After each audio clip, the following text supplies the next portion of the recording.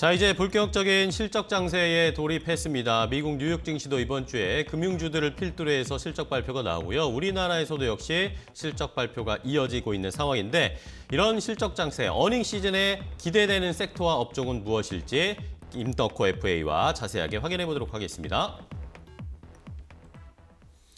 네, 실적 시즌이 이제 본격적으로 시작이 됐습니다. 지난주에 삼성전자, LG전자의 우리나라에서 잠정 실적이 발표가 됐고, 이제 미국에서는 본격적으로 뭐 골드만삭스, 뭐 JP모건 이런 금융주들의 실적이 발표가 됩니다. 여기에서 우리가 어떻게 힌트를 얻어야 될까요? 네, 조금 짧게 말씀을 드린다면요. 네. 우선 이제 실적주를 잡으실 때 이제 테마는 크게 두 가지 테마로 보시면 됩니다. 먼저 첫 번째는 전년 대비 테마고요. 네, 두 번째는 이제 개선세 테마입니다.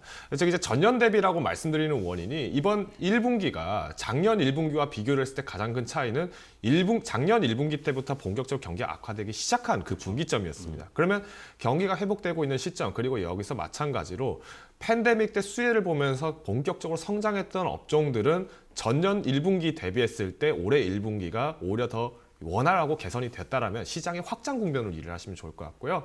이런 업종들은 대표적으로 신재생 에너지 그리고 뭐 지금의 금융 업종들 그리고 철강 어, 금융 업종들하고 이런 부분들을 좀 살펴보시면 좋을 것 같습니다. 그래서 2차 전지라든가 아니면은 그린 에너지 이런 부분들이 최근에 거, 거론이 많이 됐던 섹터들은 이제 전년 대비의 그 실적들을 한번 보셔야 되고요.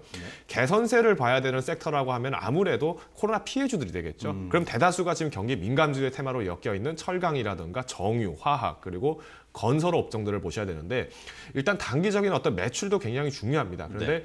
정유 화학 같은 경우에는 지금 말 그대로 물동을 받아야 되는데 물동을 받지 못하다 보니까 이제 오히려 영업이익으로의 그 전환세를 좀 더 보셔야 되고요. 그래서 영업이익률이 조금 더 개선세가 전년 대비해서 조금 많이 늘어났다라고 했을 때는 충분하게 이 섹터도 충분히 투자가 유효하다는 점을 좀 말씀드리겠습니다. 그래서 지금 실적제 잡으실 때 조금 뒤늦게 대응하시는 분들을 위해서 말씀드린다면은 네. 대형주가 실적을 먼저 발표하고 이후에 후행으로 중소형주들이 발표하는 경우가 많습니다. 그래서 대형주 무조건 다 사야지 이렇게 하지 마시고요. 뭐 5대 5 정도로 나누신다면은 대형주 5, 중소형주는 그 대형주가 영위하는 섹터나 사업별로 또 나누어서 투자를 하십시오.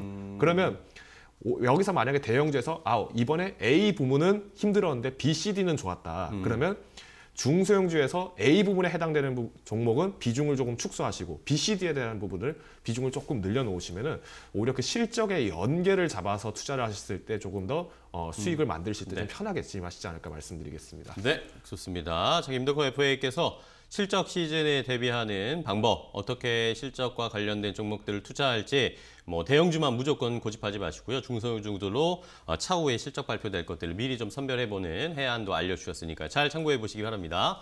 자, 오늘 이슈파워는 유한타증권의 김덕호 FA와 함께했습니다. 오늘 또 좋은 이야기 이슈 알려주셔서 감사하고요. 다음 시간에 또 뵙도록 하겠습니다. 고생 많으셨습니다. 고맙습니다. 감사합니다.